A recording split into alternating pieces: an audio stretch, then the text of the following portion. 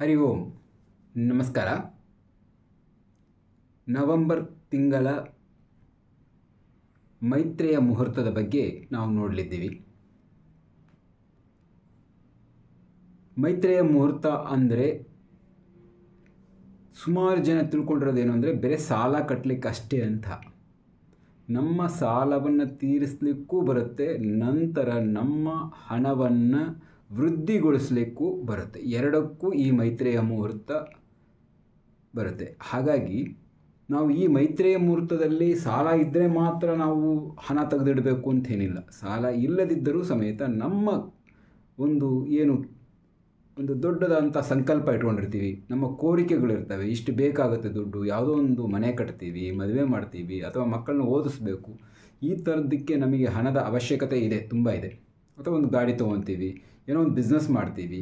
ಇದಕ್ಕೆ ನಾವು ಈ ಒಂದು ಸಮಯದಲ್ಲಿ ಸಂಕಲ್ಪವನ್ನು ಇಟ್ಕೊಂಡು ನಾವು ಈ ಹಣವನ್ನು ತೆಗೆದಿಟ್ವಿ ಅಂದರೆ ಅದು ವೃದ್ಧಿಯೂ ಆಗುತ್ತೆ.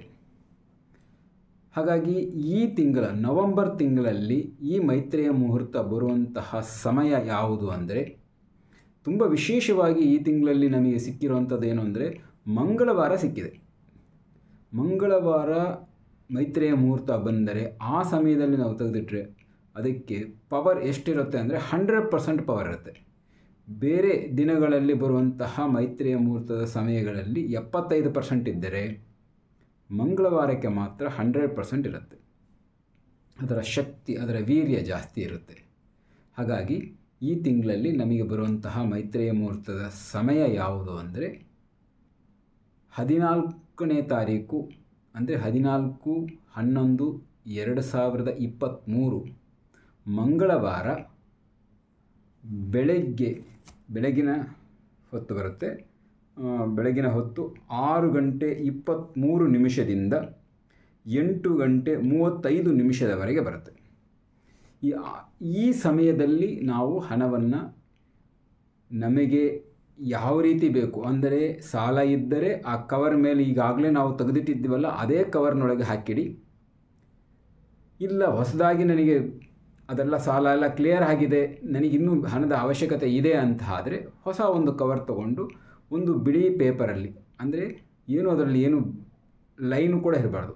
ಕ್ಲಿಯರ್ ಆಗಿರುವಂತಹ ಬಿಳಿ ಪೇಪರು ಆ ಬಿಳಿ ಪೇಪರ್ ಸಮೇತ ಮೊಟಕಾಗಿರ್ಬಾರ್ದು ಎಲ್ಲೂ ಕಟ್ಟಾಗಿರಬಾರ್ದು ಕ್ಲಿಯರ್ ಆಗಿರಬೇಕು. ಆ ಥರದ ಪೇಪರ್ ತೊಗೊಳ್ಳಿ, ಎಲ್ಲ ಕಾರ್ನರು ಕರೆಕ್ಟಾಗಿರಬೇಕು ಅದರಲ್ಲಿ ಹಸಿರು ಇಂಕಲ್ಲಿ ಬರೀರಿ. ನಿಮಗೆ ಏನು ಬೇಕು ಅನ್ನೋದನ್ನು, ಎಷ್ಟು ಬೇಕು ದುಡ್ಡು ಅನ್ನೋದನ್ನು ಬರೆದುಬಿಟ್ಟು ಆ ಕವರ್ನೊಳಗೆ ಇಟ್ಕೊಂಡು, ಆ ಕವರಿನಲ್ಲೇ ಒಂದು ನೀವು ಸ್ವಲ್ಪ ಹಣವನ್ನು ನಿಮಗೆ ಎಷ್ಟು ಸಾಧ್ಯನೋ ಅಷ್ಟು, ಹತ್ತು ರೂಪಾಯಿ ಆಗ್ಬೋದು, ಐವತ್ತು ರೂಪಾಯಿ ಆಗ್ಬೋದು, ಐನೂರು ರೂಪಾಯಿ ಆಗ್ಬೋದು, ಅದರೊಳಗೆ ಇಡಿ. ಅದರೊಳಗೆ ಇಡಬೇಕಾದ್ರೆ ಒಂದು ಸಣ್ಣದಾದಂತಹ ಪಚ್ಚ ಕರ್ಪೂರ ಅಂತ ಹೇಳ್ತಾರೆ.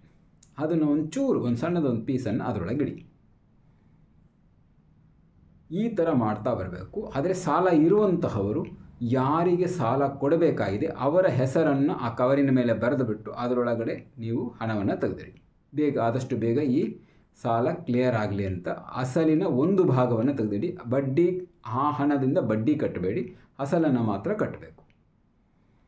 ಅಂದರೆ ಇವಾಗ ಅವರು ಆ ಸಮಯದಲ್ಲಿ ತೊಗೊಂಡೋಗಿ ಬಡ್, ಅವರಿಗೆ ಅಸಲು ಕೊಟ್ಟರೆ ಮಾತ್ರ ತೊಗೊಳ್ಳಲ್ಲ ಅಂದರೆ ನೀವು ತೆಗೆದಿಡ್ತಾ ಬನ್ನಿ. ನಿಮಗೆ ಯಾವುದೋ ಒಂದು ರೀತಿಯಲ್ಲಿ ನಿಮ್ಮ ಹಣ ಬಂದಾಗ ಅದನ್ನು ತೊಗೊಂಡೋಗಿ ಇದು ಆ ಹಣವನ್ನು ಸೇರಿಸಿ ಕೊಡಿ. ಹಾಗೆ ಇಲ್ಲ ಆನ್ಲೈನಲ್ಲೇ ನಾವು ಅವರಿಗೆ ಟ್ರಾನ್ಸ್ಫರ್ ಮಾಡಿಬಿಟ್ಟಿದ್ವಿ ಅಂದರೆ ಈ ಹಣವನ್ನು ಯಾವುದೇ ಕಾರಣಕ್ಕೆ ಬೇರೆ ಖರ್ಚುಗಳಿಗೆ ತಗೊಳ್ಬೇಡಿ. ಯಾವುದಾದಂತಹ ಶುಭ ಕಾರ್ಯಗಳಿಗೆ, ಅಂದರೆ ಯಾವುದಾನ ದೇವಸ್ಥಾನಗಳಿಗೆ ಹೋದಾಗ ದೇವಸ್ಥಾನಕ್ಕೆ ಕೊಡಬಹುದು. ಅಥವಾ ನೀವು ಯಾವುದಾನ ಬೆಳ್ಳಿನೋ ಬಂಗಾರನೋ ಈ ಥರದ್ದನ್ನು ತಗೊಳ್ಳಲಿಕ್ಕೆ ಬಳಸ್ಕೊಳ್ಳಿ.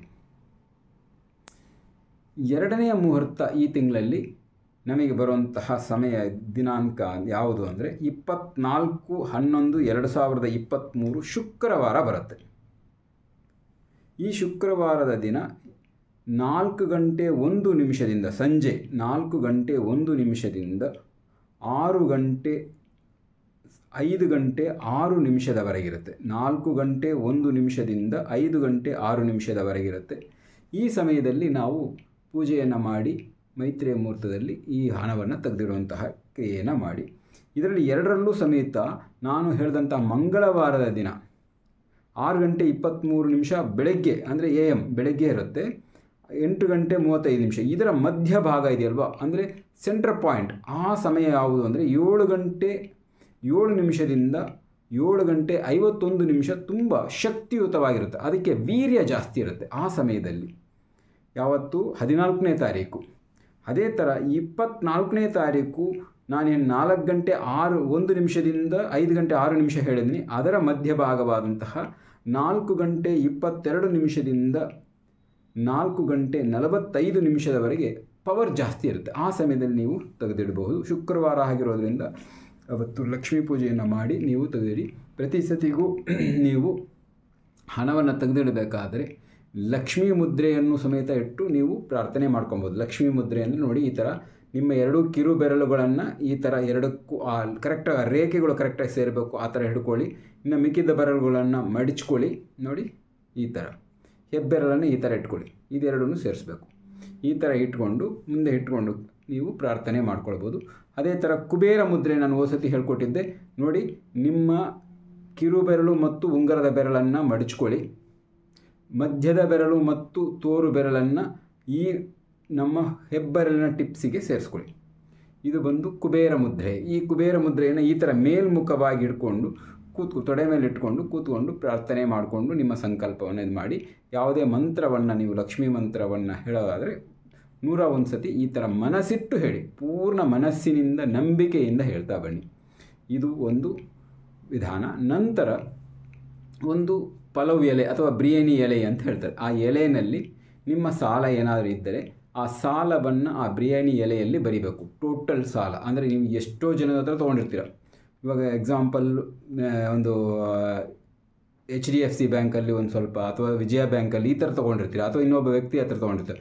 ಇದೆಲ್ಲ ಸಾಲಗಳು ಸೇರಿಸಿ ಒಂದು ಹತ್ತು ಲಕ್ಷ ಆಯಿತು, ಐವತ್ತು ಲಕ್ಷ ಆಯಿತು, ಅದರ ಮೇಲೆ ಬರೆದುಬಿಟ್ಟು ಅದನ್ನು ಏನು ಮಾಡಿ ಒಂದು ದೀಪದಲ್ಲಿ ಆ ಪೂಜೆ ಮುಗಿದ ಮೇಲೆ ಅದನ್ನು ಹುರಿಸ್ಬಿಡಿ. ಆ ಥರ, ಆ ಸಾಲ ಏನಿದೆ, ಅದು ಸುಟ್ಟು ಕರಕಲಾಗಲಿ, ಬೂದಿ ಆಗಲಿ ಅಂದರೆ ಬೇಗ ಕರಗಿ ಹೋಗಲಿ ಅಂತ ಅದನ್ನು ಪ್ರಾರ್ಥನೆ ಮಾಡಿಕೊಂಡು ಸುಟ್ಟುಬಿಟ್ಟು ಆ ಬೂದಿಯನ್ನು ನೀವು ಏನು ಮಾಡಿ, ಗಾಳಿಗೆ ತೂರಿಬಿಡಿ ಅಥವಾ ಗಿಡದ ಬುಡಕ್ಕೆ ಹಾಕಿಬಿಡಿ. ಇದನ್ನು ನೀವು ಮಾಡ್ತಾ ಬನ್ನಿ. ನೂರು ಪರ್ಸೆಂಟ್ ಇದೇನು ನಮ್ಮ ಈ ಸಿದ್ಧಪುರುಷರು ಈ ಮೈತ್ರಿಯ ಮುಹೂರ್ತವನ್ನು ಕೊಟ್ಟಿದ್ದಾರೆ. ಇದು ಕ್ಯಾಲ್ಕುಲೇಟ್ ಮಾಡಿ ಈ ನಕ್ಷತ್ರದಲ್ಲಿ ಈ ಒಂದು ಸಮಯದಲ್ಲಿ ಮಾಡಿದ್ರೆ ನಿಮಗೆ ಶಕ್ತಿ ಬರುತ್ತೆ ಅನ್ನೋ ದೃಷ್ಟಿಯಿಂದ ಇದನ್ನು ಕೊಟ್ಟಿದ್ದಾರೆ. ಇದನ್ನು ಮಾಡಿ ನಾವೆಲ್ಲರೂ ನಾವು ಆರು ಆರ್ಥಿಕವಾಗಿ ಒಳ್ಳೆಯ ರೀತಿಯಲ್ಲಿ ನಾವು ಮುಂದುವರಿಯೋಣ ಅಂತ ಹೇಳಿ ಕೇಳ್ಕೊಳ್ತೀವಿ. ಧನ್ಯವಾದಗಳು.